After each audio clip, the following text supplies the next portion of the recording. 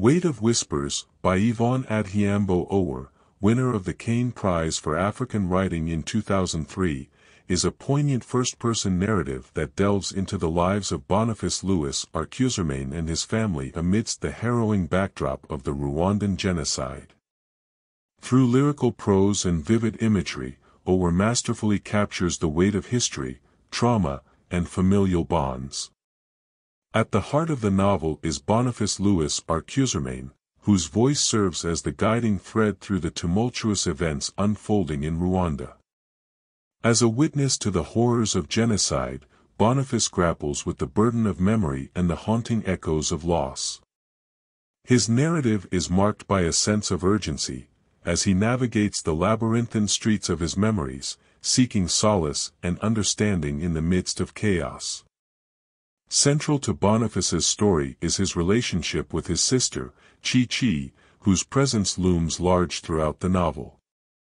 Chi Chi emerges as a symbol of resilience and defiance in the face of adversity, her spirit unbroken despite the atrocities surrounding her. Through Chi Chi's eyes, we witness the indomitable strength of the human spirit, as she confronts the horrors of war with unwavering courage. Owuor's portrayal of sibling bonds is both tender and tumultuous, reflecting the complex dynamics of familial relationships in times of crisis. As Boniface and Chi-Chi navigate the treacherous terrain of survival, their bond is tested by betrayal, sacrifice, and ultimately, redemption. Theirs is a story of love and loss, of shattered dreams and enduring hope. Against the backdrop of genocide, Owuor weaves a rich tapestry of Rwandan history and culture, immersing the reader in a world haunted by the ghosts of the past. Through vivid descriptions and evocative imagery, she brings to life the sights, sounds, and smells of a nation torn apart by violence.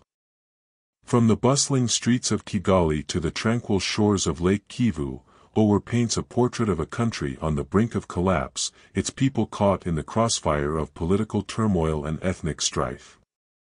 Yet amidst the darkness, there are moments of beauty and grace, as Owuor celebrates the resilience of the human spirit and the power of love to transcend even the darkest of times. Through the eyes of Boniface and Chi-Chi, we are reminded of the indomitable nature of the human spirit, capable of rising from the ashes of despair to forge a new future. In conclusion, Weight of Whispers is a hauntingly beautiful novel that explores the enduring legacy of trauma and the redemptive power of love. Through the eyes of Boniface Louis R Kuseremane and his family, Yvonne Adhiambo Owuor offers a powerful meditation on the nature of memory, identity, and belonging in a world torn apart by violence.